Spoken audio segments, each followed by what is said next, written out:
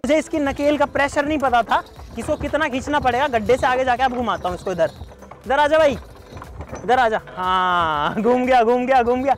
अरे इधर आजा इधर इधर इधर।